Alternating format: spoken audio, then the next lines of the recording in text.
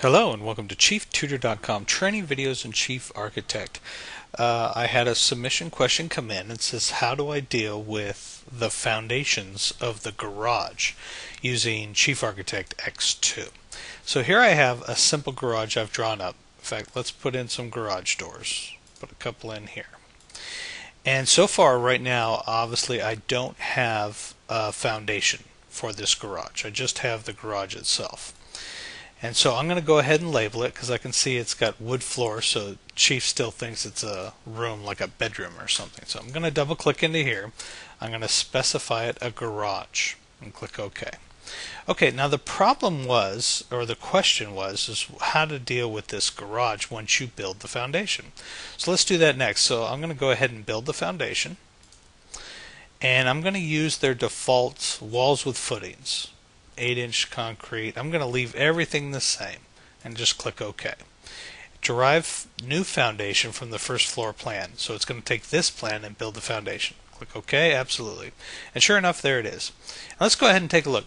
Now, if you look at the perspective full overview, what you'll get is just the foundation view, which is kind of nice.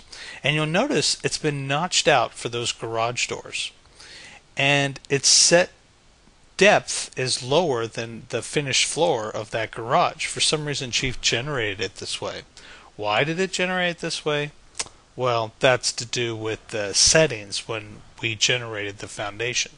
But I can double click into this room and I can see its specifications right here and how it was built. But the best way to deal with this is not to deal with this side. Uh, because if I try to manipulate it, say make A, the finished floor, 0, I type in 0 and hit tab, it does all kinds of funky things here, and that's probably what you're experiencing. I can even use the default and it sets it way down to, you know, 33 inches because uh, that's uh, the depth that we had set our original foundation to. So I click OK, it does all kinds of funny things. And that's not the result I wanted. So I'm going to go up now to the first floor and I'm going to take the perspective full overview, which would show me the garage and the foundation, and I can see it all happening there. If I want to manipulate this foundation and make it correct, just like with Chief Architect when you're dealing with floor heights, you have to go to the floor above. So here's the zero floor or the foundation floor, and then there's the first floor. So if I want to affect the zero, I will have to use or affect the first floor. And by doing that, I simply just double click into the garage, and here it shows me the foundation and the first floor that I'm on. Now I'm just going to hit default because the default will build everything correctly to where I need, except for it's not building uh, F correct. See how the F is too low. Obviously, I want the floor to fit. So I'm going to go in here and I'm going to say I want this, man, just say one inch. Or heck, you know what? Let's just go zero. And we'll see now my floor is built correctly and framed correctly down to my concrete floor. I can even say now in D doesn't need to be so thick. I can make this more like 8 inches.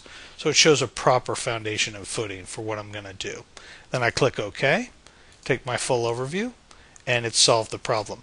Now, sometimes it doesn't generate the garage doors in the correct place. So you just have to simply lift them up and slam them down onto your floor again.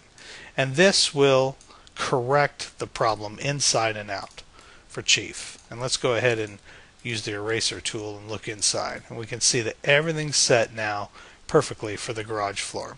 So again, when you're affecting any foundation plan, affect it from the floor above. That's the proper way of doing it. I hope you learned something new, and I'll be back for more.